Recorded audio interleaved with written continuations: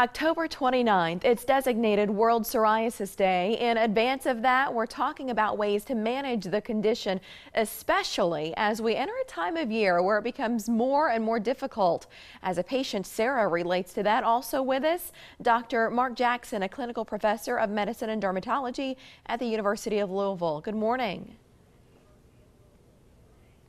Good morning. Good morning, Mary. Sarah, I'm wondering about your story. When were you diagnosed and, and what's it like now living with psoriasis?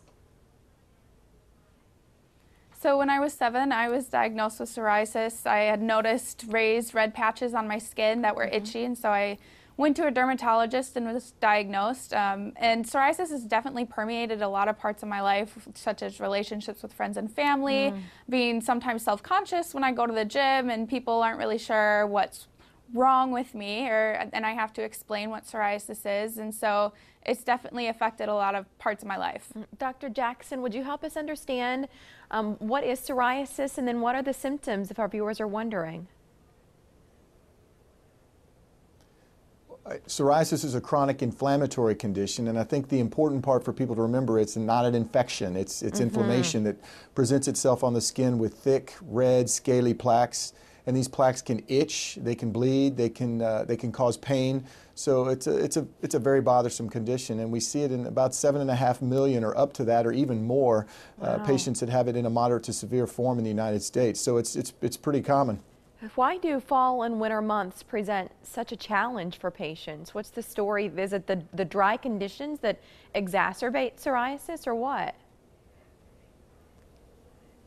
Well, as, as we all know, winter is, winter is hard on our skin with the dry heat that comes from the furnace. We also see uh, trouble with just the, the cold outside and the wind can all, can all affect the skin and, and people uh, really need to moisturize and, and, uh, to, and our psoriasis patients have more trouble because their skin is already dry and scaly. Mm -hmm. So that's why we see it worsen during, during those times of the year. And good moisturizers with emollients or a little heavier base are very important and if you can do that within about three minutes after bathing or showering, mm -hmm. it, uh, it really helps replace that barrier that you've washed off that your skin needs during those times of the year. And the, the skin can receive the, the moisture a little bit better that way.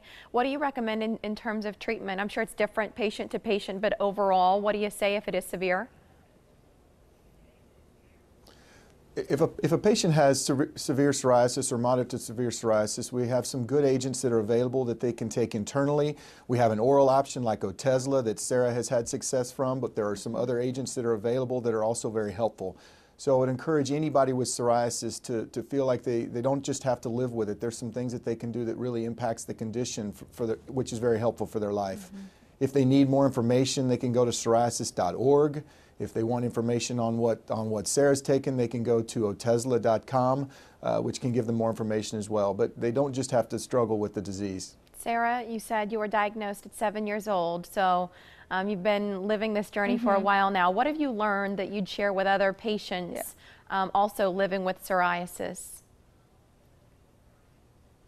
Definitely have those conversations with your dermatologist to find out what works best for you. I know during the fall and winter months, I take cold showers sometimes to prevent skin irritation. I manage my stress through working out or hanging out with friends. And so making sure you know what works best for you and being proactive and asking the right questions with your dermatologist, you can find a solution.